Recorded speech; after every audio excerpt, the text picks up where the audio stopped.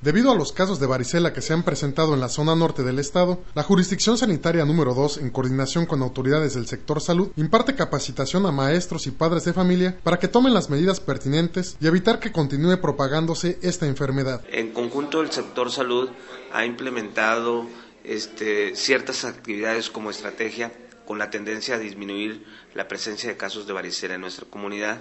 Hemos detectado que un punto importante es eh, eh, concientizar a los maestros en la detección oportuna de los signos y síntomas de la varicela para que no permitiesen la entrada a los planteles eh, a los niños que estén infectados con, con varicela.